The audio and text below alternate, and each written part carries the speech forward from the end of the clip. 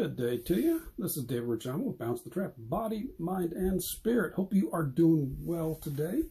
I had another topic in mind, but just it kind of hit me literally, physically before I came out. I was like, ah, let me talk about something slightly different.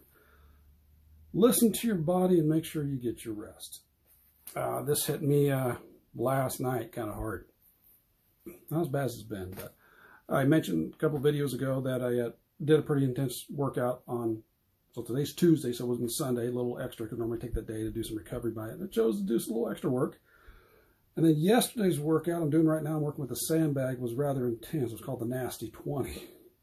Yeah, I felt that was, let's see, clean and press, shouldering, shoulder squats, bent over rows, and squats, back squats. So five exercises, 20 a piece. You do 20 reps a piece if you can get the and especially with the shouldering and the squats and the, or the shoulder squats, it was per side. But uh, definitely intense workout. Definitely felt I had to break it up into several um, sets. Couldn't quite do it in one set because of the is. But anyways, what it was is last night I felt that. I felt the combination of that intense session plus what I did over the weekend as well. It's like I am feeling tired, physically tired last night, mentally tired a little bit as well. And it's like, I need to make sure I try cutting down my day a little earlier to make sure I get to bed, get some full, get full night's sleep. Well, it mostly happened. I didn't quite cut my, my cutoff time as what would have been best for me. And I finished lunch a little while ago and I was doing some reading and I was sitting in my chair doing some reading and it kind of hit me a little bit. It's like, oh, and even as I come in here to get ready to do the video, I started feeling again the fatigue. It's like, oh, okay, I can tell myself I need to make sure and get to bed early tonight, whether it's going to happen or not. Yeah. Getting up, I can do. Getting up, going, getting up early, five o'clock, I can do that. Getting getting to bed earlier. The ideal time for me to get to bed would be about 9.30. It usually doesn't even come close, but I'm getting better. But hopefully you can do a little better than I do is to make sure you get your rest. I know for me personally, if I get really tired, there's times I've been on like four hours of sleep, I will actually get nauseous. I'll get nauseous in my stomach and I need to get sleep. At least take a nap so I can get sleep that night. But overall, the reason for the rest as well is if you like exercise, you like taking care of your body, if you do not rest, also recover, any of the benefits you get from exercise are going to go backwards.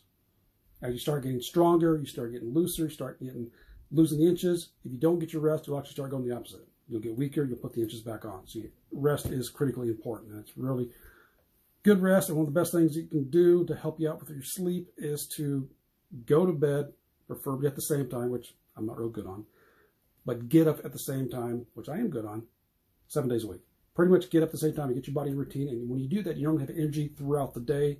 You sleep pretty good, and it's a big factor. A lot of people don't like to do it. Majority of people, if you have a standard week, you get up early, go to bed usually relatively early on Sunday night, get up early Monday morning, you do your work and school, and then Friday night, go to bed late, get up late Saturday, go to bed late Saturday, get up Sunday, which means you just threw your body completely off of the routine you got yourself in previously. And you start all over again. I got some type of engine running outside the window here. Um, but yeah, go to bed and get up at pretty much relatively the same time. So the best things you can do before you get in a sleeping pattern and help yourself out. And if you get some extra training with stress issues as top of that, you don't want to train too much because it affects your recovery. I'm hoping all this kind of makes sense here as you realize what happens if you got a lot going on. So stress, stress basically psychological, but you got a lot going on at work, you exercise too much, they compound on top of each other. And so if you really got a lot going on psychologically, mentally, you might want to ease off in some of your workouts, but make sure you get your rest in there. So listen to your body, know when you need some sleep and, or some extra rest, and take naps if you need to when you can. I know it's not, it's not always an option, but pay attention. Your rest is crucial for balancing your body, mind, and spirit.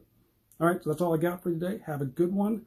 Let me know what you do for your sleep patterns. So for me right now, I get up at 5 o'clock, which is the time I want, but bedtime is anywhere between 10 to 10.30, sometimes 11.